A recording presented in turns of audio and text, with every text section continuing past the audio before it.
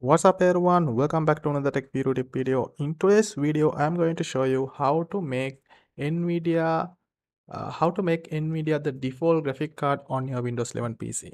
So let's, let's get into the video. Okay, first of all, very easy, go to search and type NVIDIA, sorry, NVIDIA control panel.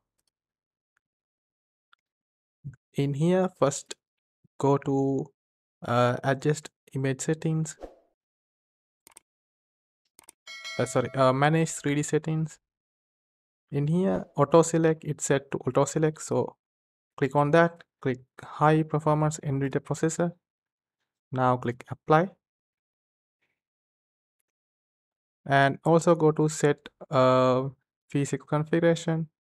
In here also select nvidia geforce uh, whatever your uh, card here. Then click apply. Okay it's finished.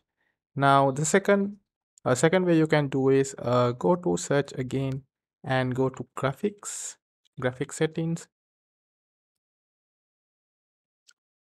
In here also you can change an application to run as uh, graphic which graphic card you want. So let me uh, show you what that means so if i go to visual studio and if i go to options i have three options. One is uh, let windows decide what uh, graphic card want to run this application with.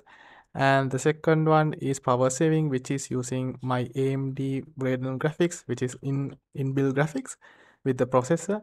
And third one is geforce uh, rtx 3050 which is my ex external uh, nvidia graphics. So if I choose this it will always run in that that graphic card.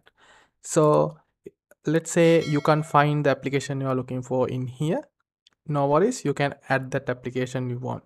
So if you choose Microsoft Store apps it's very easy. If you go to uh, click on browse it will show all the application you have installed in your Windows 11 PC uh, from Microsoft Store if that's the if not the case let's say you install a, a game or something it's a desktop application so what you need to do is click on desktop application and click on browse. Now uh, you have to find the uh, exe file uh, which run this application. So i will show you one way you can do it. If you go to start let's say you want to run uh, run steam on uh, graphic uh, NVIDIA graphic card. So right click on the NVIDIA Steam, go to open file location. Now click on here again and go to open file location. Now you can see it's steam.exe file. Now what you need to do is copy this link and paste it here and go to there. Now choose the steam.exe file. Now click on add now you can see steam is added now and it's set to let windows decide. So let me choose different one. Click on option. Now i'm going to click on high performance and click save. Now every time i open up steam and anything i do in steam it will always run on nvidia performance nvidia graphic card. So that's how you uh, put an application to run as a uh, specific graphic card you want. Okay I'm going to remove this for now. So that's it of today's video. I hope this video helpful for you to find out how to make NVIDIA as the default graphic card on your Windows 11 PC.